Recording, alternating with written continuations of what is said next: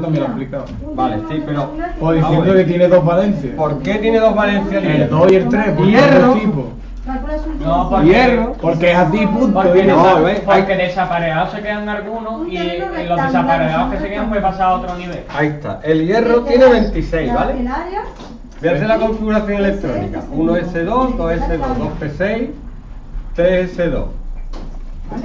¿Te sabe el diagrama de muelle? 128, 3P6, ejercicio 79, para que Espérate. sepas que es ese. 18. Ejercicio 79. No me lo sé, lo tengo que hacer. No, Co- no, no, no me dice, no, no, Podría decir, no me lo sé, pero no quiero dice. No, no lo veo ahora mismo, no pasa nada. No soy perfecto, pero soy ingeniero, que es lo más cerca de la perfección. Ella también se lo puede decir. 1S2, 2S2, 2P6, 3S2, 3P6, 4S2, 3D10. Entonces, fijarse bien. ¿Cuál es el de la 122? Lo he hecho mal. Ah, sí, 122 uno.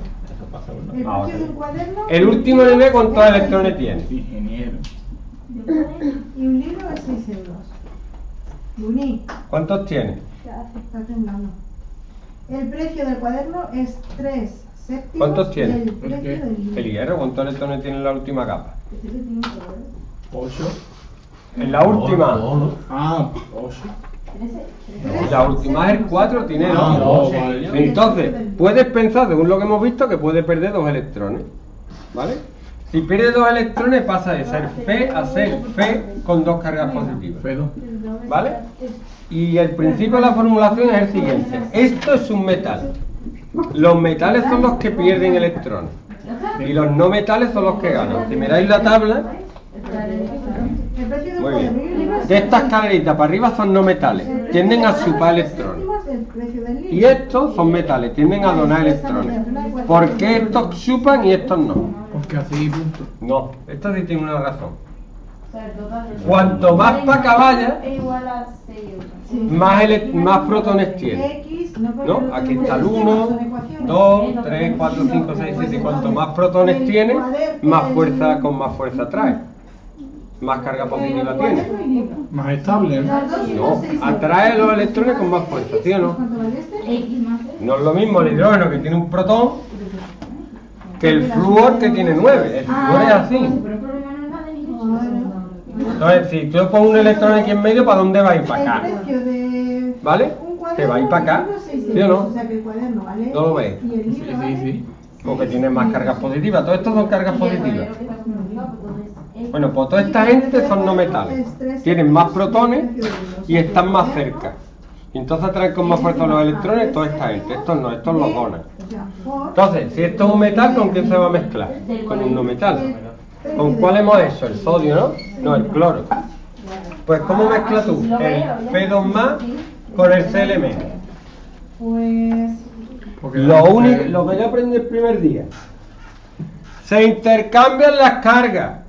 Estas dos vienen aquí y esta viene aquí. Sí, es verdad. Pero de también hierro. puede ser hierro. esto va para arriba está, ¿eh? abajo. 6x no. No, no, no, no, no. 6 menos x. Pero puede ser también Cl3. Ahora, ahora la Porque otra la cosa otra es valencia. que el hierro tiene dos valencias y para eso había que meterse más. Pierde uno de aquí. ¿Por qué? Por lo que sea, pierde uno más. Pero para eso hay que meterse y estudiar química avanzada. Ingeniero químico. Pero tú sabes que puede perder tres. En lo lógico es que pierda dos, pero todavía es más lógico que pierda tres. Venga. Tiene dos valencias, tres y dos. O si de se intercambia con el cloro, o queda.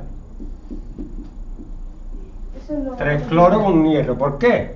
Porque un hierro tiene tres cargas positivas. ¿Cuántos cloros tiene que poner para compensarlas? Tres cloros. Tres cargas negativas y tres positivas. Vale, vale. Sí, es esa. He comprado tres cuadernos y dos bolígrafos. Y me han ¿Cómo lo veis? 16,50 Bien, fácil. Eso no bien, pero cuando se combinan, por ejemplo, nitrógeno y calcio, 16,50 euros. ¿por qué hay que poner un oxígeno? Porque es Oh. NO32. Uh.